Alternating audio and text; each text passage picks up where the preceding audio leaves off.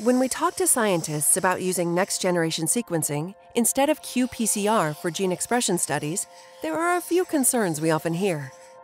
They're under the impression that NGS data analysis is complicated and that their lab may not be ready for it, as they don't have dedicated bioinformaticians, and they wonder if using NGS would make sense financially.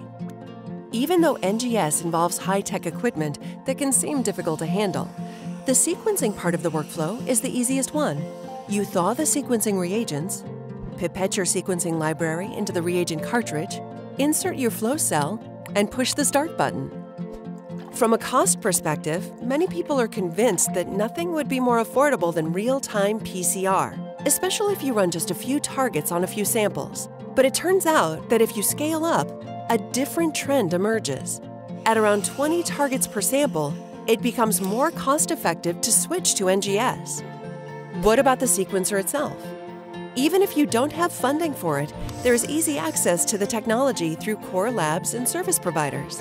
If your lab decides to buy a platform, Illumina has a wide portfolio to fit different needs, with the most affordable models costing less than most real-time PCR instruments. Historically, NGS data analysis has been a challenge, but as the technology is becoming widely adopted, a broad range of plug-and-play solutions are available on the market.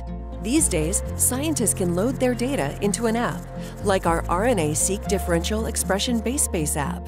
Push the button, and within a half hour, get the first results. The app provides users with all the metrics and plots they're familiar with from real-time PCR. And it's even possible to compare the NGS data with qPCR data when you look at fold change expression levels.